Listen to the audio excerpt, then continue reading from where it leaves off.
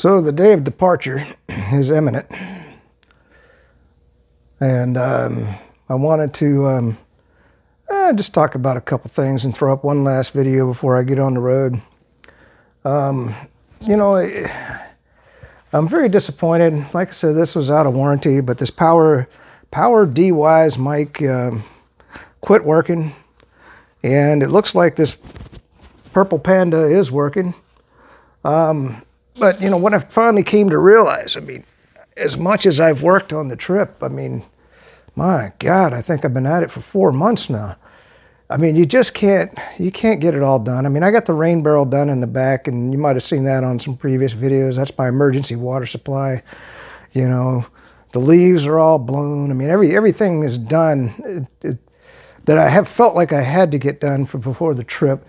You know, I really wanted to play with this uh, uh, Movo mic, the VR VXR10. But you know what? I figure uh, while I'm camping, you know, besides hiking around the campground, uh, lot, I do a lot of reading. You know, I don't listen to the radio. I just uh, sit down in my chair and really I wanted to read some just fictional books and just get away from everything. But you know, it's okay. I, I don't mind doing a little, you know, work on the mic and see if I can get it working on the trip. You know, um, you know, this was the old mic. I'll take this to Best Buy and recycle it. You know, and um, I don't know what else to do with it. Uh, and then, uh, you know, I bought three new batteries uh, for the trip, and um, but I just kind of wanted to talk about things in general. Um, you know, things you need to be thinking about. Uh, you know, I really think that this this is the month. I think you know if I want to make a prediction, and I'm going to put my neck out on a limb, this month or next month, you're going to see a stock market crash.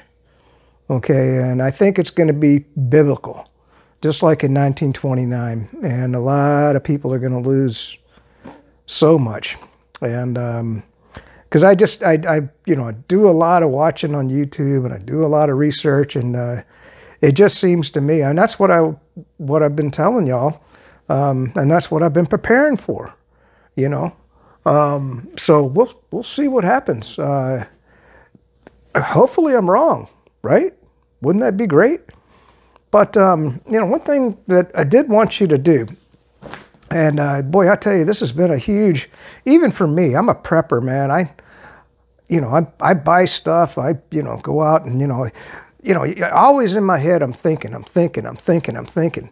So let's let's just talk about uh, weaponing up for the trip. And when I say weaponing up, okay, I got I got my whole bug out ensemble. It's going to all be in the car. So what happens if you know I pull up into one of these uh, cities and somebody tries to carjack me? I, I can't, you know, I know the police just say, let them steal the car and then, uh, you know, hopefully you'll get it back. I can't do that, man. I'm going to have to defend the car. And uh, what's the best way to do that? So, you know, I, have been doing research on weapons, um, you know. Uh, so, you know, I, have shown the KA-BAR and the knife. Uh, so I have a knife. Knife ain't the best tool to defend yourself with. Your close proximity. If they got a gun, boom, you're done. Uh, can I carry a gun with me? No, man, um, because the Democrat. I'm going to be going through some Democrat states, and uh, you know, if I shoot, you know, anybody, you know, could be, uh, you know, uh, a you know, ten-time felon. You know, they're gonna they're gonna come for me and you know and arrest me. So really, I got to take out the assailant in in any manner possible. Um, so let me just describe a couple multiple ways you can do that. So I, I, will have bear spray next to me in the passenger seat of the car, and I'll have the KA-BAR right there. Um, is that optimal? No. I mean, the bear spray is only effective up to about 20 feet. Um, but that could I could wipe the guy out, and uh, and I don't think even in a Democrat state, if I take his gun away and shoot him, you know, after I pepper sprayed him with the bear spray, that uh, they they'd arrest me for that because I would have used his own gun to shoot him. you know, so who, who, I mean, even a Democrat prosecutor that lets felons go is uh, is not going to take that one on. I don't think. I mean, I, the world's gone crazy. That's for damn sure. Um, so you know, that's the, the other thing that, uh, and I was reading about this. And, you know, it's kind of a, it was a good point. You know, somebody comes at you. You know, my mom's got some swords um, that I bought her for just decoration down in the basement. And uh, on this trip, I'm gonna I, I want them. You know, I, not for I mean not per se for self defense, but I mean just because I think they're cool. You know, and uh, and one of them's a samurai sword, and I tell you what, it's a sharp little instrument, and uh, that would probably be good in a in a in a fight where you know they got you know, I understand if they got the gun, you got the sword, you know, you're going to lose. But uh, so, you know, I'm just thinking about things, you know, as I move along. And um, so that's uh, that's the first thing. I just wanted to talk about how when you're driving around, uh, because I think things are going to get much, much, much more dangerous. Uh, you know, as the economy crashes and the stock market goes down, there's going to be a lot of desperate people out there, and even around here in Central Florida, I see a lot of crazy, uh, and I, I, call them rednecks, but I mean I don't know what you want to call them. Just stupid people that, you know, they'll they'll pass me. I because I do about five over the speed limit, and I understand. You know, a lot of times I get impatient when I'm behind an old person. and They're doing 45 and a 55, um, but uh, these these crazy people around here, they'll just go right around you on a double yellow line. You know. Um, but luckily, we got a lot of lot of sheriffs, a lot of police, and I imagine they get their share of tickets, you know, and so that's up to them. That's why I just set it at five over, and uh, and that's why I love that Prius Prime because it's got a little little box up there that tells me what the speed limit is because uh, somehow it reads a speed limit sign when I pass it.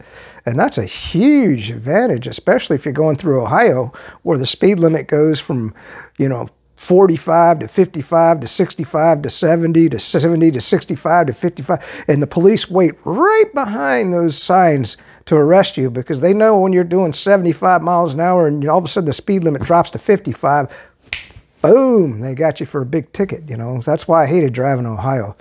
Um, and I imagine, you know, other states, they're, they're getting desperate for money, people. And um, so, you know, if you want to speed, you, you do what you want. Um, so, you know, we talked about carjacking, you know, talked about speeding. Um, I've kind of gone over the gear and, uh, you know, I, I, I did a, a, a, hike recently and uh, I showed you um, this, this bag right here.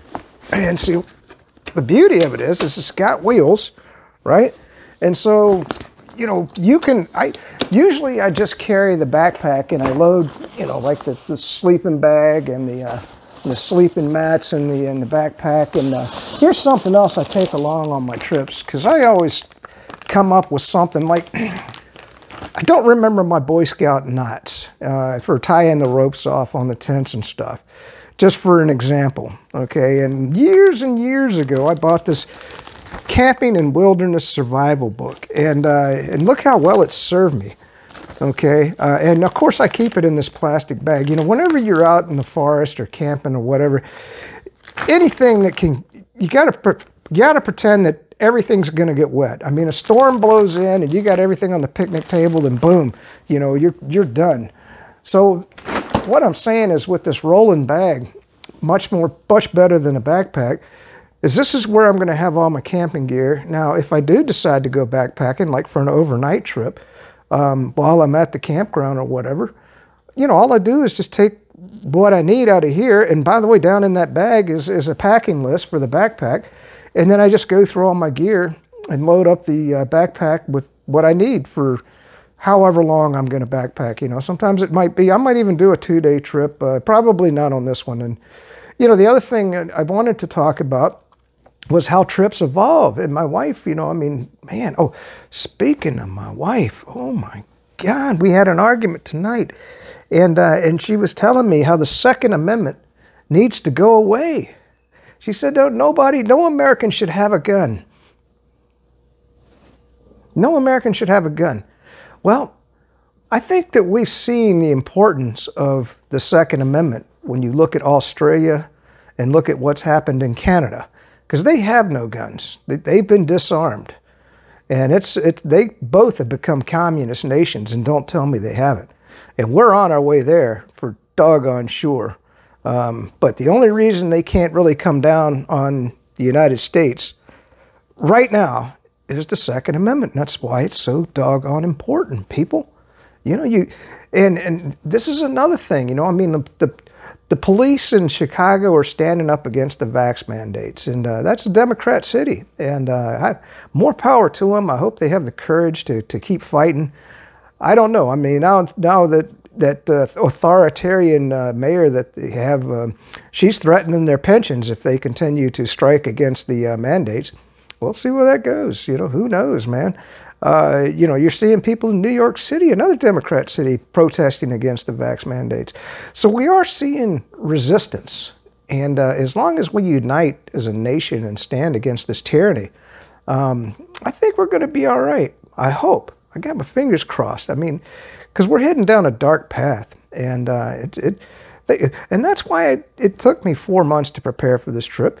You know, and another argument that I had with my wife tonight, you know, she still got her 22 mile to the gallon uh, Kia, and uh, and so I wanted her just, you know, she's a Democrat. I just wanted her to watch because I I watch Scotty Kilmer. If you don't watch him on YouTube, you should. He's pretty doggone good, man. I tell you, I and uh, he just did a recent video talking about Han Hyundai, or I, I always pronounce it Hyundai, but I think that's a, there's a different pronunciation. But anyway, that's what I had was a Hyundai Sonata, and uh, and he's talking about how he he hates the Korean cars, and uh, so it was real important for me to get a new car uh, to travel, and uh, and I told her, you know, and I tried to point her into to to videos on YouTube to to look at a new car for her because hers is a Kia, and I don't want her owning a Kia, especially when it gets 22 miles to the gallon, and because we're three, 340 a gallon here in Florida or something like that now. I mean, you know, God, just a year ago it was $1.98.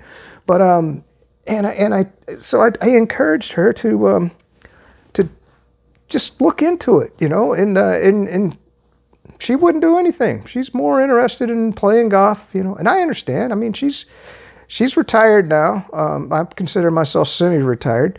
And um, I, you know, I respect the fact she does get out there and play a lot of golf, and I, that's good exercise. Uh, believe it or not, I mean, you know, 18 holes wears me out even in a cart now because I'm an old fart. All right, so I guess I'll tie this video off right there, and uh, this will be it. Probably won't see me for a while. Um, I've been putting, I'm backing up all the videos to Rumble, and that's another thing she doesn't understand. She goes, Why are you in your office so much? Why are you in there all the time? I said, Because I'm trying to back, and I've got the videos backed up on my server, because, you know, I do expect YouTube to take me down at some point, because um, I don't think they want a conservative on YouTube, and the censorship's going to get me eventually. Um, so, because you know, I talk about the vaccine mandates and all of that stuff, and uh, and natural immunity and all that stuff. You know, and oh, there's no natural immunity. Everybody wants to listen to that Fauci idiot.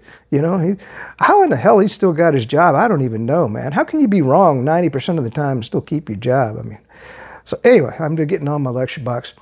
Um, so that's it. Uh, so, and, and I was I was trying to study some more about the Prius Prime uh, before I left. Um, I never quite got to it, but I thought, you know what, I'll just throw the owner's manual. I'll, I'll always keep it in the car anyway, but I'll have it with me on the trip. And rather than reading a good fictional novel and just, you know, chilling out, I'll, I'll probably be reading about using this mic and reading about the um, uh, the stuff on the Toyota Prius Prime, and who knows, I'll probably make a couple videos at the campground. And uh, well, let's just get on the road. Let's do the mantra.